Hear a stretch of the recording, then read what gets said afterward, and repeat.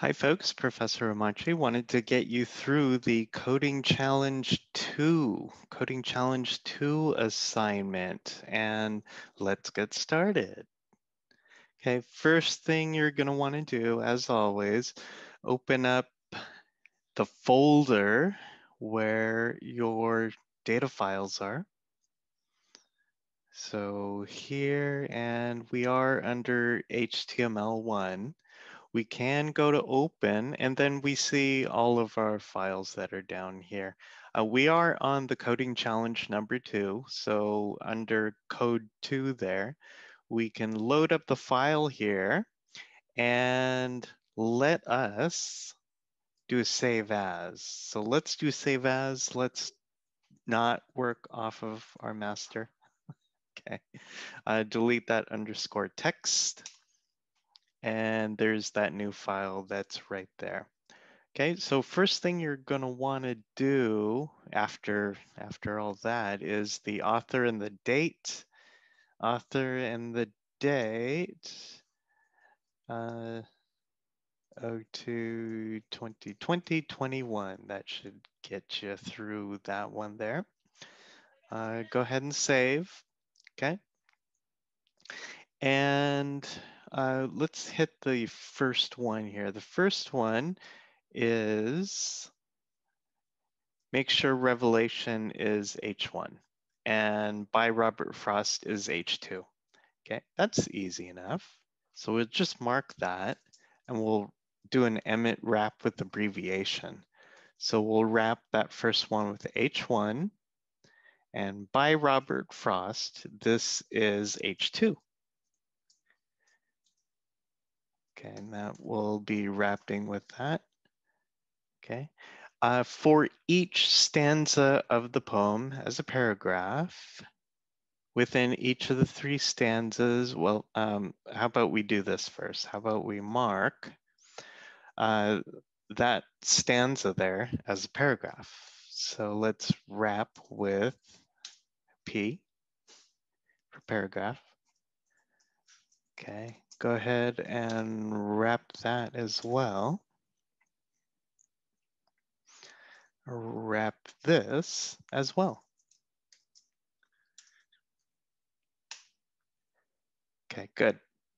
So then use a hard break at the end of each line within each of the three stanzas, end each line with a break using the uh, hard break right there. And then that's the auto close tag. Easy enough. Let's do an Emmet for break. Okay, Emmet for break, and then add our self close there.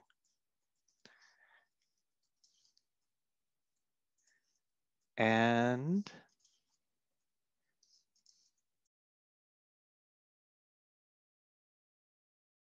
good.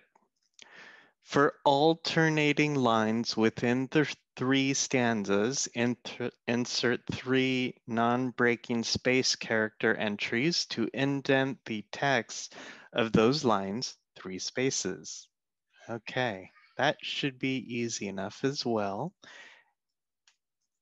That's a uh,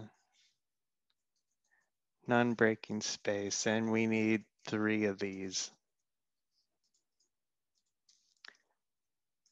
So why don't we grab that and grab some of that there too.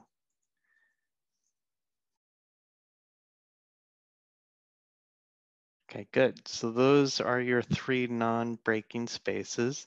Replace the line of dashes after the poem with a uh, horizontal rule. Okay. So this, just go ahead and highlight it and do horizontal rule.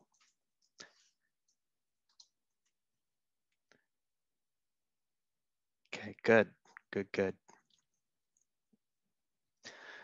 Enclose the reference to the poem's origin with a footer tag. So let's wrap that with footer. Okay, mark the text of Boy's Will using the cite tag. uh, Boy's Will. So we'll wrap that with cite. And then replace the word copyright with the copy here. Okay, we do this and do copy. All right. Hopefully that's everything here. Uh, verify final uh, final design looks okay. Go ahead and do save.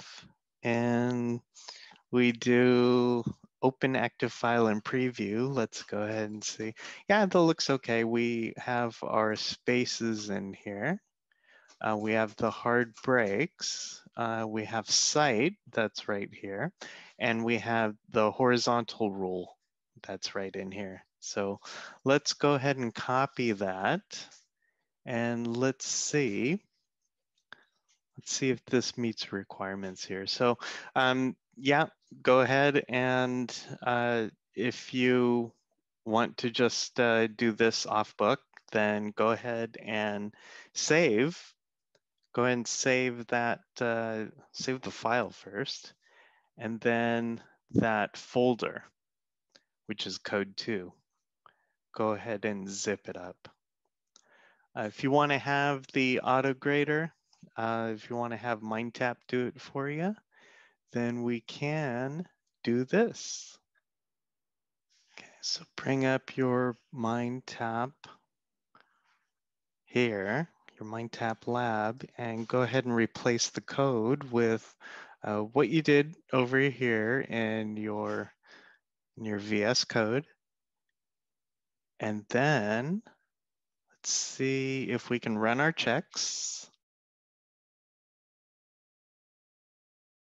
Oh yeah, at the same time, let's uh, take a look at it here.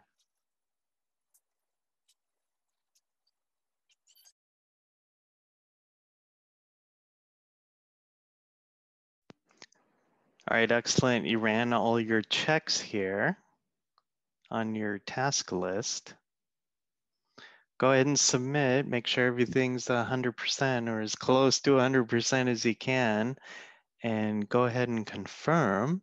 And that is how you get 100 points on your coding challenge two. I hope you had fun with this and we will see you on the next one. Be sure to hit like and subscribe. All right. Thanks.